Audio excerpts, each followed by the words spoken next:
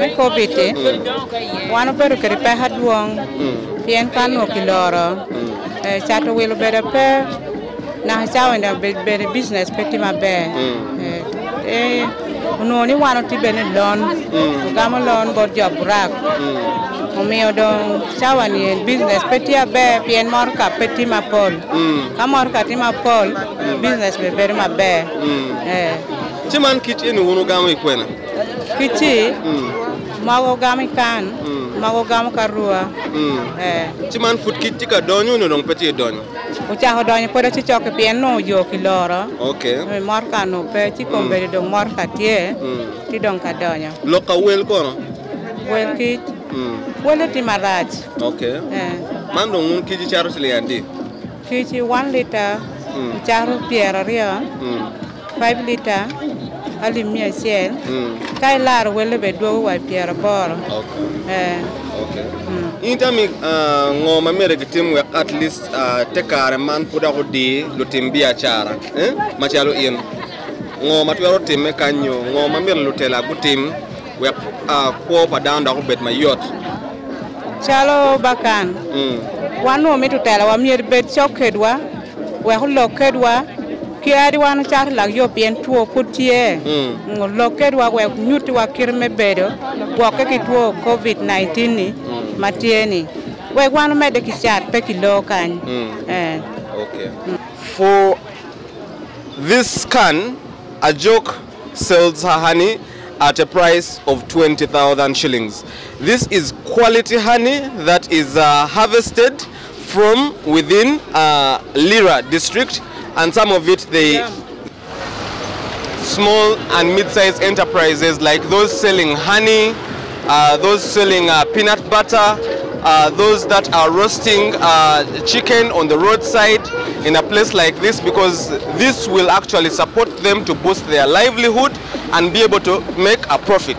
Uh, I know COVID has affected so many businesses Yeah. and uh, you being a, a, a businessman, how has this affected uh, the, the way you have been conducting your business? Yeah, thank you very much. I'm Orema Felix. Eh? As you can see here, this uh, produce store of ours, it's, it's, it's a family business. And uh, the challenges we have faced here, like our supply, like our suppliers, have become like a small. Like where, like these bins of ours, we actually get them from Oima on large scale. You get. So, but this time around, there's a way during this COVID, there's a way it has reduced just because the customers are few, and most of our customers come from far, these neighboring villages. So, if like the supply is small, meaning us, we shall bring little, and so we shall supply small. So that has- also turned out to be a challenge. Our stock has been reduced. Eh, that is the first one. And uh, another one, like during this COVID, eh, Yes. since since since the supply has been small, we have been buying these beans here when they're not dry. And you know if they're not dry, eh, if they stay for long, there's a way, there's a way like like if let's assume this one was like 150 kilos, there's a way it reduces if it is not dry. There's a way it reduces like you may get is one like uh, 146, yeah, like that reduces and, and and and this way for us we make the losses. You get. So what would you quantify in terms of losses because of COVID for your business? In terms of losses? Mm. Yeah, actually, I would say this this COVID year has done more, has done more harm to this business of ours. Mm. It has retarded it a lot mm. mm. because we are not how we used to be.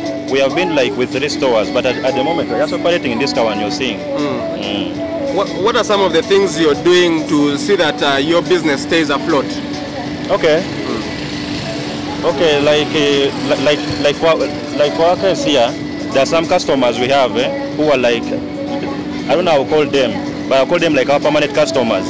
They're always there for us. Eh? Even if like our supply is small, some come and just deposit their money. That and then for us we keep on looking for them. Eh? So let's slowly, you get. Eh, they don't mind like over like we should go and they're always here with us. You get. They, they they just deposit their money and they look for them, despite this uh, COVID. Eh? Yeah, this uh, quarantine. Yeah. If you were to speak to some of uh, the other people doing this more similar businesses like yours, what advice uh, would you uh, give uh, them For me, post-COVID, for post-COVID, uh, for managing the, the, the, the, the, the situation post-COVID-19? yeah, my yeah, my fellow businessmen there outside. What I will tell you is just continue doing your your work. Just push on, cause uh, just do like like the way we are doing it. Just just get a little. Like if you are like if you are putting in much, just try to put a, a bit. If like customers are not too much, just try to put a little so that you so that you be consistent. Eh? Because you may bring in much and you incur serious losses. So just put in a little and you keep on moving so slowly. You make it. Did you change uh, your prices during uh,